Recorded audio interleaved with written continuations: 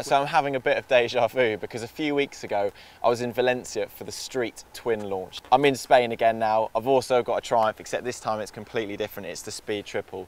Now, obviously the Street Twin, completely different bike, chilled jacket, ripped jeans, which I've definitely got a bit of slagging off for, whereas this is going to be a bit more leery, got the leathers on, we're out on the roads, and then we're out on the circuit this afternoon to test this bike. Like the Street Twin, Triumph haven't really told us much about this machine. So we know it's got 104 new changes to the engine. We know there's some styling tweaks, there's new colors. So they've changed the headlights again. The rear tailpiece has been changed, so it's pretty much straight off the Daytona 675R. And what they've also done is released an S model and an R model. So we're going to be riding the R model today. So what do you get on this R model over the S model? It's the usual goodies really. Öhlins suspension. Both models now come with the Brembo monoblock brakes, whereas before, if you wanted those brakes, you had to get the R model. You also get carbon fibre, and there's also some more goodies that we'll be running through later.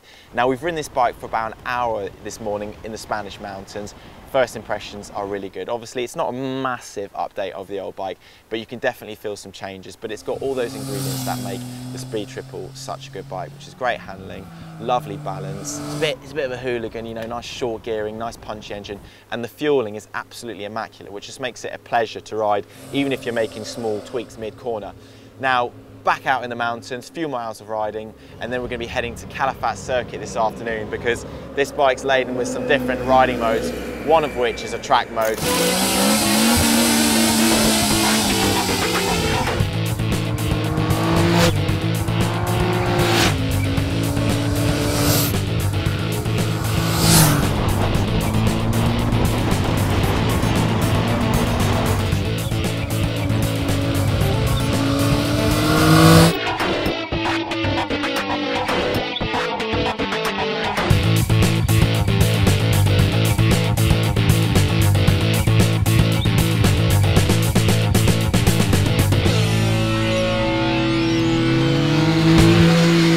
I've just come back from my first session around Calafat Circuit. Now usually when you're doing a bit of road riding in the morning and then track sessions in the afternoon, you go out on circuit and the bike can feel a bit soft and you've got to come back in, dial in a load of preload just to stiffen the bike up so it can track around the corners properly. With this bike, I've only been out for first session so maybe we're just going too slowly but it feels perfect around there so far. Really composed, as I said earlier, the fueling's immaculate so it's really precise. We've got two more sessions, I think 20 minutes and then another 20 minute session. Try and uh, go a bit faster this time, maybe pull some wheelies because there's not too many marshals around this circuit. But so far, the bike's held up really well on both the road and the track.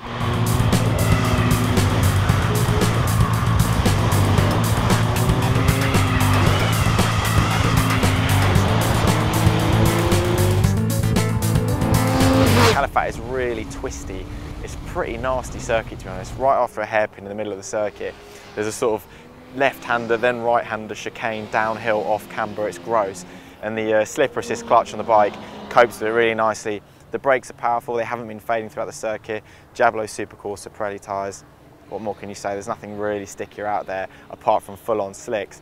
Now, come out of the presentation at lunchtime and they've gone through a lot more of the changes. So before, all we knew about the engine was that there were 104 changes to it. We knew it made a bit more power, a bit more torque, a bit more refined, they were saying, but we didn't know anything. What we've now received from them is, is the press pack and a, a big presentation and found out what those changes are. So there's a new piston, there's a new crankshaft, there's a new combustion chamber design, new intake ports, new fueling system, new ECU, there's new throttle bodies, there's a new ride-by-wire throttle, which is why you can get riding modes on this bike, because obviously it all links in through to the ECU and the traction control system.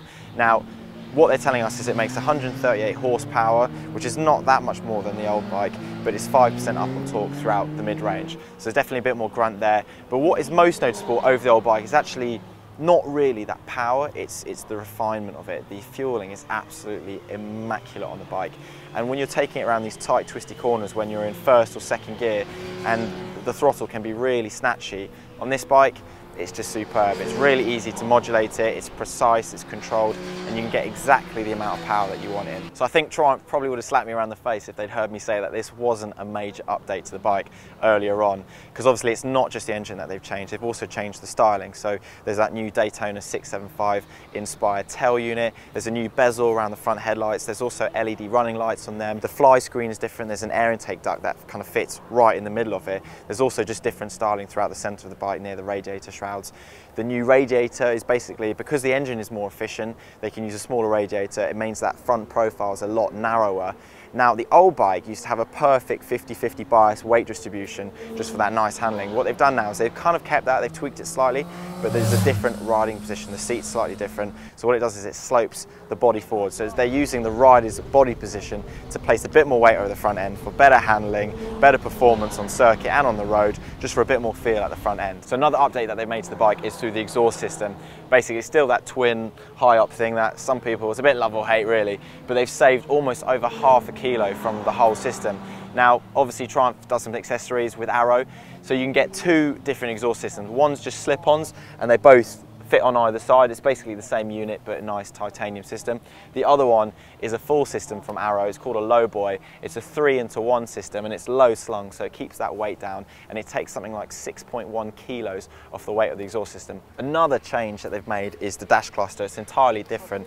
And they've also added those five rider modes. So what you get is road, sports, rain, track and then a rider configurable mode where you can basically adapt anything. Now the difference between those modes, every single one makes the full 138 horsepower. The only difference is the fueling and the power map. So obviously rain mode is slightly softer, traction control settings higher, ABS is on. So those are the main updates and upgrades to the 2016 Speed Triple R. Got one more session out at Calafat. It's just started raining. What do they say about not going out on your last session?